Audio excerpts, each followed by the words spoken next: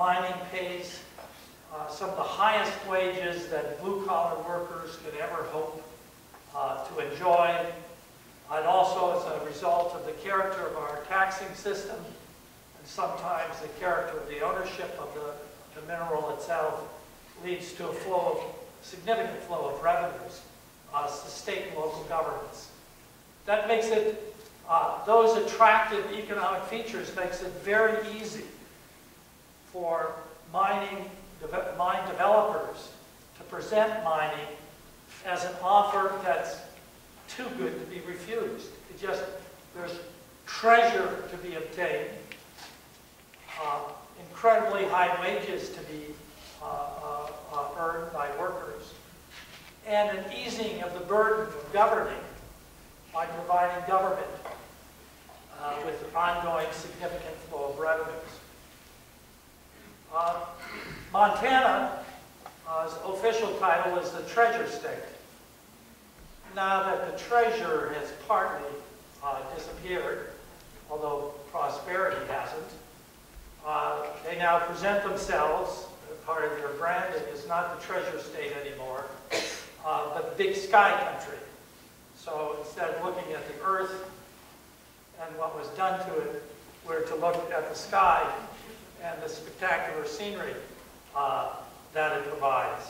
The seal in the middle of Montana's flag uh, has with it, besides a plow, a pick and a shovel, and in Spanish, much to the horror of the English-only folks in Montana, uh, in Spanish, the words gold and silver.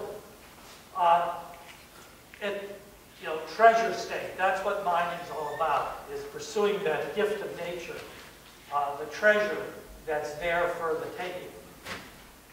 Uh, and you're going to see a lot of these squiggly lines. Uh, if, that, uh, uh, if that makes you dizzy or makes you think you're in an economics class, just close your eyes. Uh, I'll try and say what I think those squiggly lines tell us. Uh, and, and, you should get the gist without trying to puzzle through what the squiggly lines are doing. This just shows average pay for all wage and salary jobs uh, uh, across, uh, in this case, Michigan. And also shows going back to 1969, and I didn't pick that arbitrarily because something horrible or better happened in 1969. That's when the federal government began collecting data at the county level uh, uh, so that we have a history of that. Uh, and then above that, average pay in metal mining jobs. And I didn't end it in 1990 because something spectacularly good or spectacularly bad happened. Uh, in 19, into the year 2000, the number of jobs in metal mining and the part of the gross uh, national product coming from metal mining had declined so far that the federal government ceased reporting in the most popularly used uh, data sets anyways on metal mining. Uh, instead, they uh, report on mining as a whole and oil and gas extraction, no surprise, uh, and then all other mining. So as of the year 2000, uh, it's not easy to get at data dealing with metal mining. The point is, you can see the huge difference at times. Uh, sometimes the, the pay associated with metal mining uh, is 40% above that in the average, uh, uh, average job in, in Michigan obviously a very positive aspect uh, to make pe people and communities drool over the idea of lots of those jobs. And depending on how one looks at it, in this, in this case I'm going all the way back to 1929, looking at uh, the real payroll, so inflation has been taken out of this, and in all mineral extraction. Uh, and I did cut it off in 1980 because something terrible was about to happen. Uh, uh, but now we're looking at all mineral extraction, so oil and gas is actually in here too, along with sand and gravel, coal mining, etc. Uh, but you can see the promise here too of payrolls just going, you know, from less than $200 million, uh, going up and up and up, reaching towards uh, uh, $1.6 billion uh, over that lengthy period of time. Somewhat uneven, but still, you know, an incredible promise in terms of uh, terrific amount of income being pumped into families' uh, budgets.